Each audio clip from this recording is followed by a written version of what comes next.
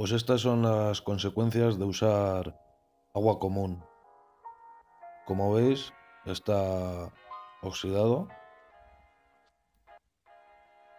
Desde aquí, esto es la vista desde el acceso de la bomba del agua, pero lo interesante viene aquí, en los conductos que unen el bloque con la culata y que son de menor tamaño y se pueden obstruir más fácilmente. Por ejemplo, este conducto de aquí, que es bastante fino, estaba completamente saturado, impidiendo el buen flujo de, de líquido hacia la culata.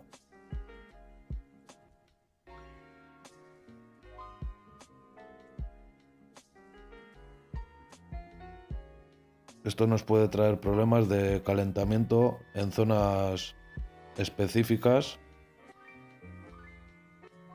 y tener problemas de deformaciones y demás. Aquí en estos conductos que son un poco más grandes, como veis también se ha reducido el tamaño del conducto. Bien, pues aquí lo que voy a hacer es tratar de eliminar toda la, cascarilla, todo el óxido que se pueda soltar y pueda, y pueda obstruir los conductos. Utilizamos tanto herramientas manuales como aquí utilizo un, cable trenzado de acero y el taladro para, para sacar toda la porquería.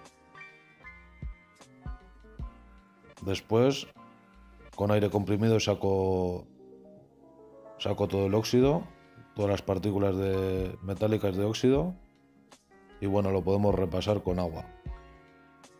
Así que ya veis lo que pasa por usar agua común.